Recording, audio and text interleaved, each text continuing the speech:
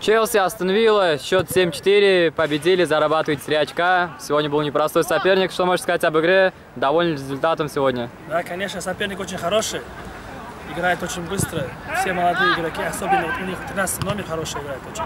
Ну, ребята молодцы у нас тоже. В центре очень слаженно играют. В защите, да, иногда порой бывали моменты, когда ошибались. Но за счет центра мы сегодня выиграли. И у нас вот Билалидин Кемке забил три гола. Вот у него сегодня 11 голов. Дай бог до конца сезона на первом месте будет. Челси вперед. Спасибо большое. Спасибо, удачи вам. Спасибо.